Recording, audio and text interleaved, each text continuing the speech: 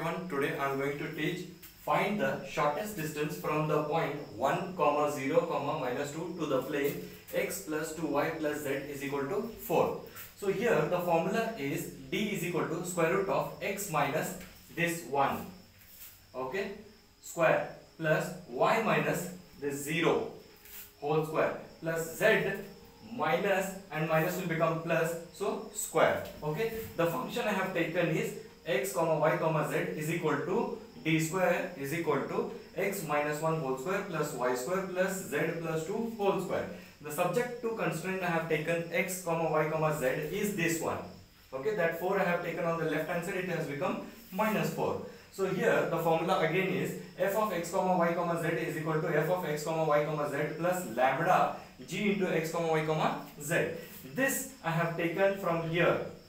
Fine. Plus lambda g I have taken from here. Fine. Now first time I am going to differentiate with respect to x. So x minus 1 whole square will become 2 x minus 1 plus this will become 0 this will become 0 and this will become only lambda these all terms will become 0 fine I have equated to 0 now 2 into x is 2x minus 2 ones are 2 plus lambda. So I have found out x I have taken all the terms on the right hand side. Fine. Now this I am going to differentiate with respect to y.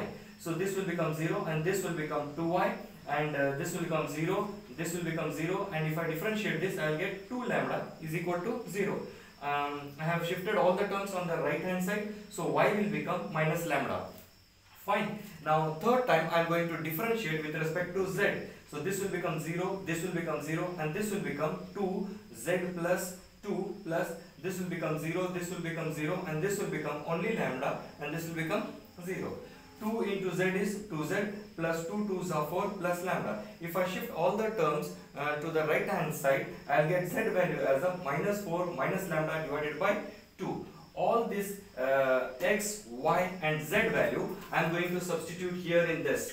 Fine. So if I substitute this and if I take LCM, I will get lambda as a minus 5 by 3. Fine. Now this lambda value I am going to substitute in the x so I'll get x value as a 11 by 6. Fine. If I substitute in y, I'll get 5 by 3. If I substitute in z, the lambda value, I'll get z value as minus 7 by 6. All these x, y, z values, I'm going to substitute in the uh, d. So x value I have substituted 11 by 6 minus 1 whole square plus y value and z value. Okay. If I take LCM, I'll get square root of 150 divided by 36. So this can be written as 25 into 6. So I have uh, taken uh, the square root of 25 is a 5 and square root of 36 is a 6. So the final answer for the shortest distance from the point 1 comma 0 comma minus 2 to the plane this will be 5 by 6 root 6. I hope you all understood. Thank you.